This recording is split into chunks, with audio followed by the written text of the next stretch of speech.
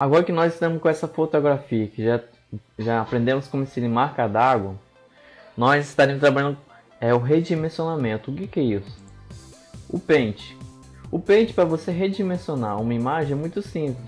Aqui logo na, nas diagonais dela, ela mostra uma opção. Essa opção aqui, esse quadradinho, se você passar o mouse em cima dele, perceba que a seta muda. O que, que é isso? Quando você clicar e arrastar, clica o botão esquerdo do mouse e arrasta, você está o que? Redimensionando o tamanho da tela de pintura. Agora, quando você vem aqui e cria um círculo, seleciona ele. Aqui ele te dá outra opção de percebe que não está mais selecionado o, a tela de pintura, apenas o objeto. E você clica aqui, você redimensiona o tamanho dessa imagem, tanto para o menor como para o maior. Agora, como fazemos esse mesmo processo no GIMP? Não é muito difícil, não é o mesmo lugar. Percebe que aqui não tem os quadradinhos para você estar tá redimensionando, mas ele tem atalhos. Você pode vir aqui, imagem, tamanho da tela de pintura. O que, que é isso? Você estará modificando o tamanho da tela de pintura, mas não estará modificando a camada. Por exemplo, esse cadeado aqui é o que? Se eu começar a diminuir aqui, ele vai diminuir em cima e embaixo por igual. E eu clicarei em mudar tamanho. Percebam, esse tracejado representa essa camada fundo. E esse tracejado representa o nosso, nossa outra camada de marca d'água. Ele ultrapassa o tamanho da tela de pintura, mas o tamanho da tela de pintura foi diminuindo. Então está desse tamanho. Quando você for exportar essa imagem, ela só reconhecerá o tamanho da tela de pintura e não o tamanho da imagem aqui. É o mesmo processo que eu fiz no Paint, mudar o tamanho da tela de pintura. É como se eu criasse um, um retângulo aqui e pegasse o tamanho da tela de pintura e cortasse ele.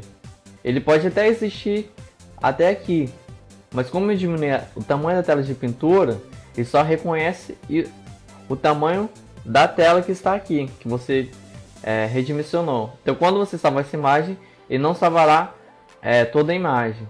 E até no, no caso do Paint, quando você faz isso ele até apaga. No caso do GIMP não. Ele ainda continua aqui no mesmo tamanho. Apertarei Ctrl Z, estarei voltando como estava.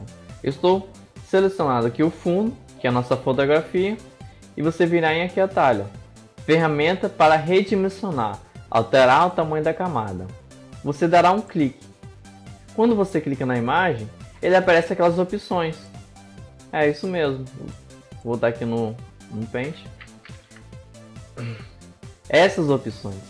Em seleção, cliquei aqui.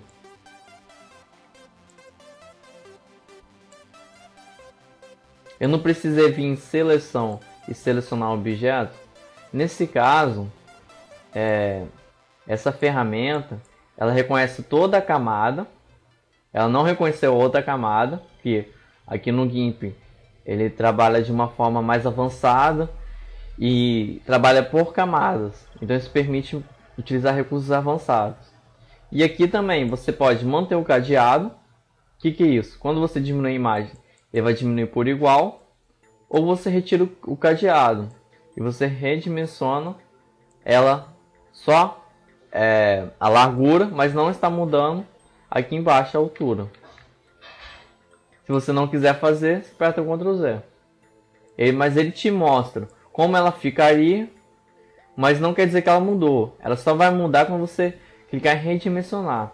Ele ainda te dá a opção de restaurar. Você também pode fazer aqui, ó clica aqui, redimensiona, ele está mostrando a imagem como era e a imagem como você mudou. Você clica em redimensionar. Pronto, a imagem foi redimensionada. Atrás dessa imagem tem um fundo transparente e tem a nossa nova camada, que foi a nossa marca d'água. Você pode redimensionar ela? Pode. Você clica aqui e redimensiona. Redimensionar. Podemos dar um zoom para ver como ficou. Você aperta M ou clica aqui em mover, clica na camada e movimenta onde você quiser colocar. Perceba que nós aprendemos o que? A redimensionar a imagem e a redimensionar o tamanho dela de pintura.